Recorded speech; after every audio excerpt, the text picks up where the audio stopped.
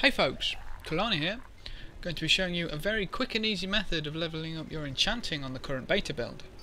Obviously this won't be accessible on live as sadly the NPC required for this won't be going through to live and we'll definitely miss private Tim P. O'Reilly. Definitely will. How else are we going to get to Orgrimmar faster? Anyways, but this can help you on the beta.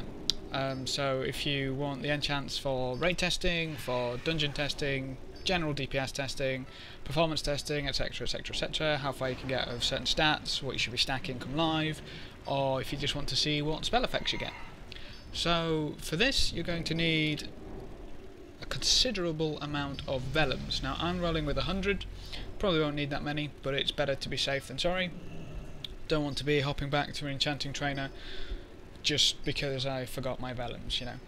Um, other things that will make this a lot easier are these two macros, a quick disenchant macro and a do trade skill get trade skill selection index macro. Now I'll explain those a little bit later. But the key to this is our little friend Tim. So his wares are actually disenchantable and out of all of the like preset green and blue gear available his are actually the only ones that I found them which are uh, disenchantable. Um, I obviously haven't checked a lot of them because there's no need when, you know, I found one. But Dawn's Blossom one would have been quicker because it's closer to the enchanting trainer, but you can't disenchant that stuff, sadly. So what we're going to do is not talk to him. What we're going to do first of all, come back, is buy up a lot of greens.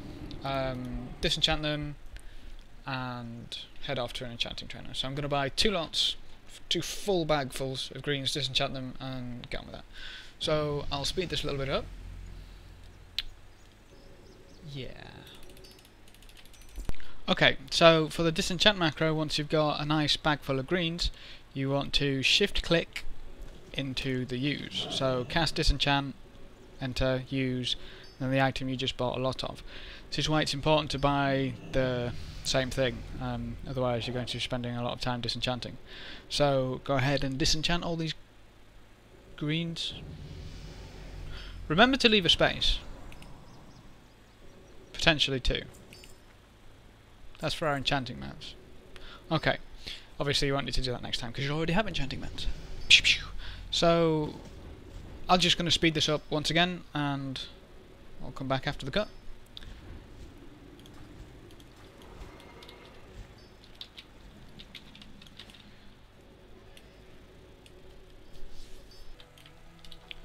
Okay, so once we've got our materials, we need to head to uh, Dawn's Blossom, which is right around there.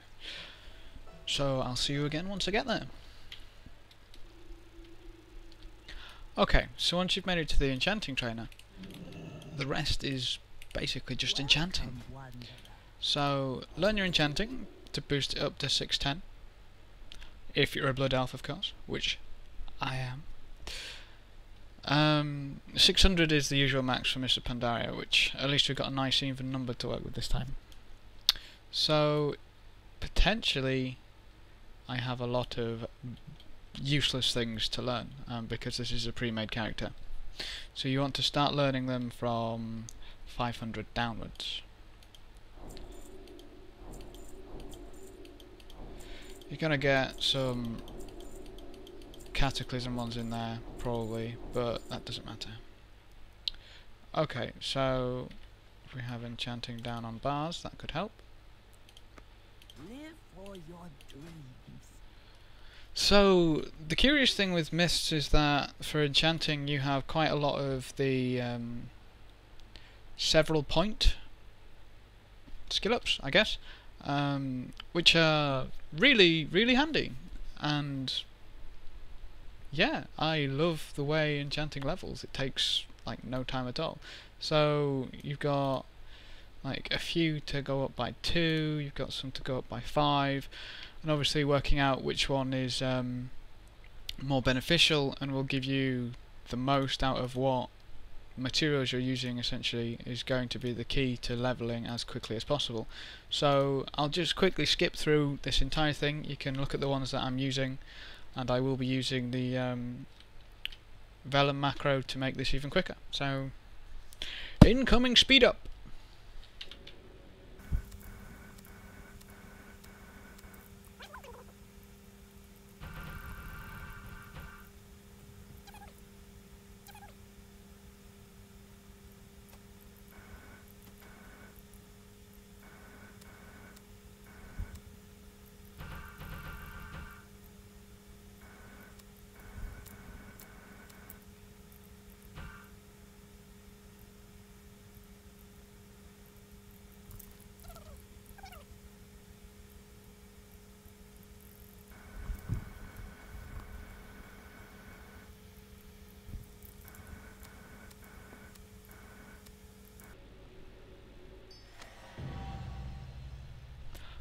Boom!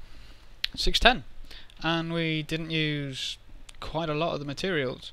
Now, the key to how this works so well is that in Mists of Pandaria you can make shards out of essences and essences out of dust. This makes it so, so much easier to use materials in a, sens a sensible way, I guess. Um, because essentially if something costs um, say six dust. But you can use the same sort of skill up for one essence. Then you can change five dust into one essence and use one less dust for that skill up. And it just makes like saving materials and using them as efficiently as possible so much easier. So obviously we can now buy all of these but that took essentially the time there is um, through the disenchanting.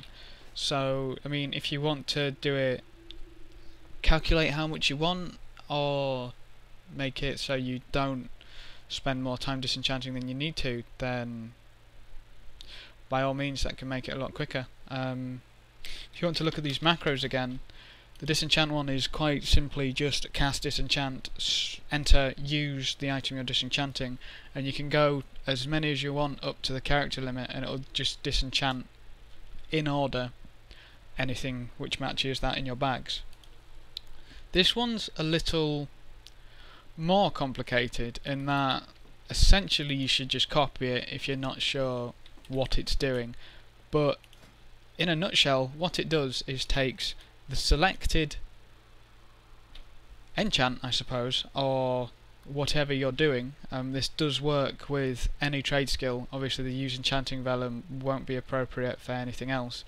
But when you then press that macro, it gets what you're selecting and then uses it on anything really. But I've selected enchanting vellum. You can use this to enchant any piece of gear you want. Um, and you can also add a um, a cancel error or accept error message. So when it says do you want to replace this? it automatically says yes and doesn't bother with that. So it makes it a lot quicker. Obviously using on vellums um, is non-specific. It lets you use the enchant later on with whatever you're doing. You can even sell them and it just speeds up the entire process of A not wasting the enchant and B actually you know enchanting something to give you the, um, skill points so that's how you can very quickly get max enchanting on the beta. Obviously the technique itself will be appropriate for when live hits, but you won't be able to get the greens for free. Who knows, you might actually be able to get the greens for less gold. Um, as you noticed, I did burn through quite a lot of gold buying those greens. They were 32 gold, I think, a piece. So you probably end up spending less money, but obviously it's going to be slower to some extent but you'll be able to buy uh, dust, swap it to essence, to shards, just to level up as much as you want. Well, I hope you enjoyed the video, and I hope it helps some of you get the enchanting you're looking for on beta. Thanks a lot, and I'll see you next time.